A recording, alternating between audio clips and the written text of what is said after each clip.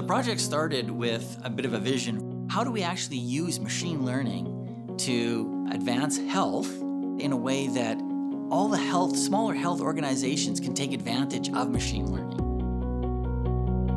We actually combined forces of the providers that would provide expertise in AI and ML, as well as the consumers who wanted to solve their problem.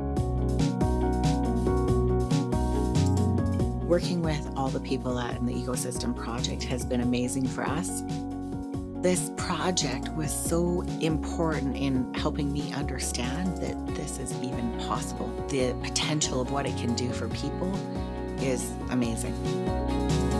We always had an interest in AI. We didn't know that this ecosystem existed in Alberta and Western Canada. And just to be uh, introduced to that ecosystem was, was a huge benefit to us when you're a smaller company like ours, I mean, you look and that's kind of maybe a dream or something that the big multinational companies do. So we really are grateful to them and thankful. They were the ones that made us open our eyes and see that it is doable for a small company to change the world.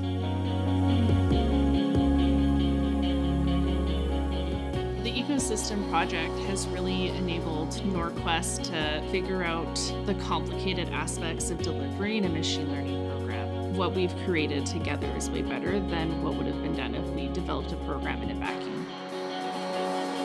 Medical training had taught me that you can't do everything alone, you need help.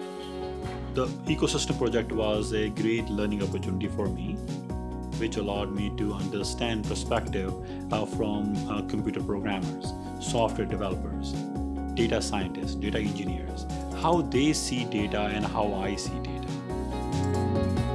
The ecosystem was really positive and a huge success for us to participate with from not only creating a network and community of professionals that we could get feedback and support from, but also implementing a project that gave us a lot of insight to what we have now in our product.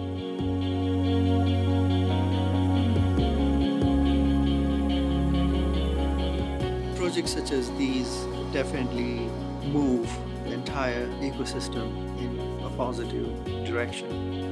And also, it moves the needle further for the researchers that are joining the teams.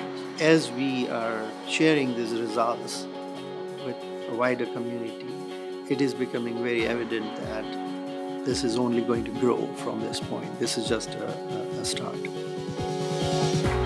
Alberta, I don't think, really tells this story widely enough kudos should be given to Amii for, for taking this step to communicate these stories and, and share that with the world because we're kicking butt and we're ready to, to take on the world and certainly AI is, is a big area of opportunity for us and uh, we'd like the world to come knocking.